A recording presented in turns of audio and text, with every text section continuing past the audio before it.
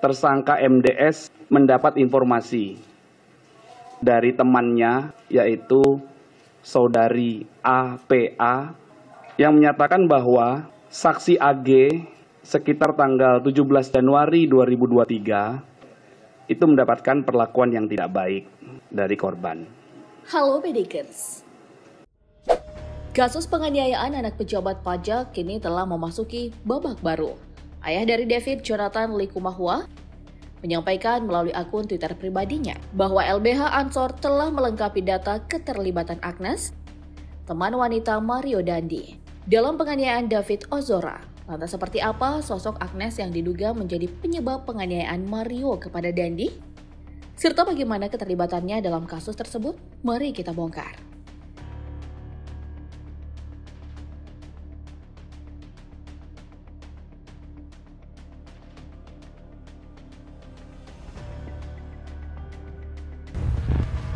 Agnes Gracia Haryanto, sosok Agnes beberapa waktu belakangan menjadi bulan-bulanan publik. Bagaimana tidak?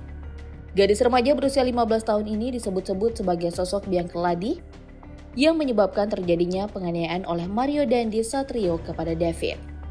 Namun hingga saat video ini dibuat, Agnes masih berstatus saksi dari kasus tersebut. Berdasarkan keterangan pihak kepolisian, Kejadian ini bermula saat Agnes mengadu kepada Dandi perihal David yang dianggap pernah melakukan perbuatan yang tidak menyenangkan kepada Agnes. Dilansir dari laman berita detik.com, penyidik Satreskrim Polres Metro Jakarta Selatan Kompol Henrikus Yosi masih mendalami peran Agnes dalam kasus penganiayaan tersebut. Untuk sementara, Kapolres Metro Jakarta Selatan Kombes Ade Arisyam Indradi memberikan keterangan bahwa Agnes menjadi pihak yang mempertemukan David dengan Mario. Kombes Adi juga mengatakan bahwa Agnes masih belum ditetapkan sebagai tersangka. Namun isu-isu liar tentang sosok Agnes telah banyak beredar di dunia maya. Salah satunya data dari seorang pengguna Twitter @gloria484739 yang mengaku sebagai teman Agnes SMA. Akun anonim tersebut membeberkan sejumlah hal yang mencengangkan. Agnes disebut-sebut memiliki sifat yang nakal dari segi pergaulan. Bahkan wanita yang memiliki nama lengkap Agnes Gracia Herianto ini disebut sering melakukan hubungan badan dengan David, meskipun mereka tak lagi berpacaran dan Agnes berstatus sebagai pacarnya Mario. Selain itu, akun tersebut juga membeberkan sedikit informasi tentang sekolah dan kondisi orang tua Agnes. Saat ini, Agnes dikatakan masih berstatus sebagai siswa kelas 10 di SMA Tara Kanita 1. Sementara di rumahnya, Agnes berstatus sebagai anak angkat dan kedua orang tua yang mengasuhnya saat ini sedang menderita kanker. Potret dari Ibu Agnes juga telah beredar di sosial media. Diketahui akun Twitter at logikapolitik.id yang pertama kali membagikan sebuah foto yang memperlihatkan sosok Ibu Agnes tersebut. Terlihat sang ibu foto bertiga dengan Agnes dan Mario. Ibu Agnes terlihat memiliki rambut pendek dan berkacamata, serta sangat akrab dengan Mario. Dalam foto tersebut, sang ibu tampak merangkul Mario sambil tersenyum. Selain itu, ada juga potret yang memperlihatkan sang ibu sedang memeluk Agnes. Beberapa informasi tentang sosok Agnes ini selaras dengan yang disampaikan oleh akun Twitter at Love. Dalam sebuah cuitannya, Agnes juga disebut sebagai seorang anak angkat. Meski begitu, kedua orang tua angkat Agnes sangat menyayanginya. Karena Agnes disebut sebagai anak yang dimanja sejak kecil. Informasi tentang tempat Agnes bersekolah juga diungkap akun tersebut. Dalam sebuah unggahan fotonya terlihat surat pernyataan resmi dari pihak Yayasan SMA Tarakanita 1.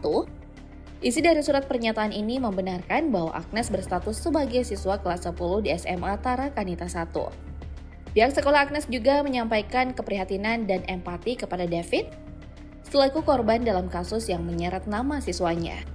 Agnes sendiri telah ditindak sesuai peraturan sekolah dan Undang-Undang Perlindungan Anak. Namun, belum jelas hukuman seperti apa yang dijatuhkan kepada remaja yang baru berusia 15 tahun tersebut. Berdasarkan informasi tentang sekolah Agnes ini dapat diketahui jika ia merupakan penganut agama Kristen Katolik.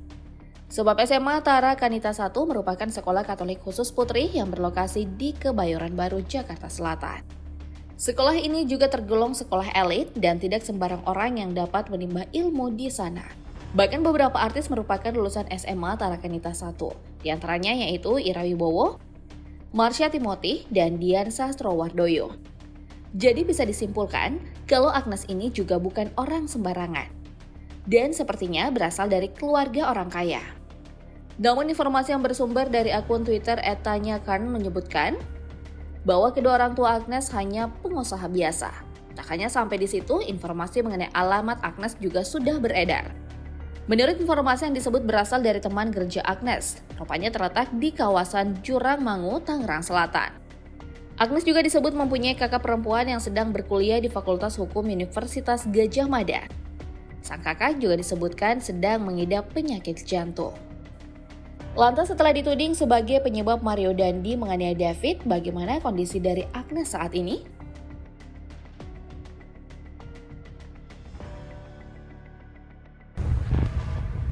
Fakta terbaru Agnes Gracia Haryanto diungkap oleh kuasa hukumnya mengata Toding Alo. Lansir situs okesen.com, mengata Toding Alo menyebut bahwa Agnes bukanlah provokator, sebagaimana keterangan yang banyak beredar di sosial media. Mengata juga tak mau kliennya disamakan dengan kasus lainnya. Mangata mengklaim Agnes sempat memberi peringatan kepada Dendi untuk tak adanya tindakan kekerasan saat akan bertemu dengan korban.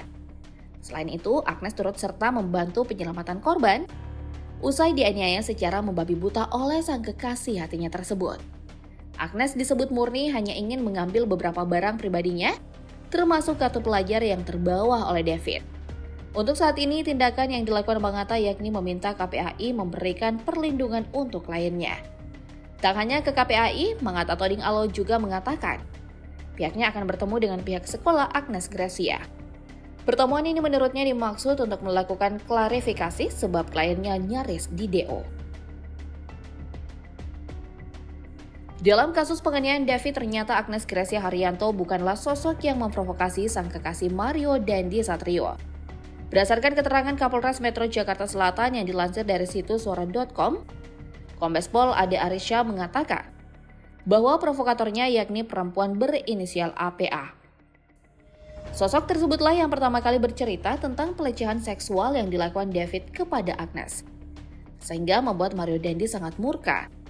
Namun hingga saat video ini dibuat, belum ada informasi sama sekali tentang siapa sebenarnya sosok APA ini.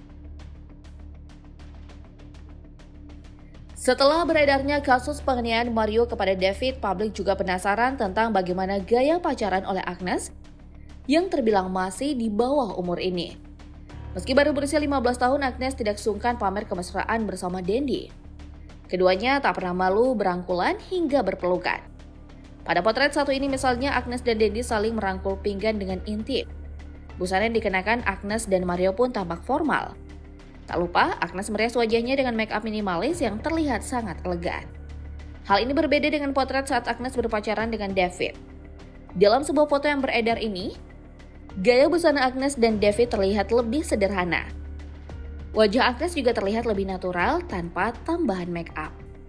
Nah, menurut kamu Agnes lebih cocok sama Mario atau sama David nih? Jawab di kolom komentar ya.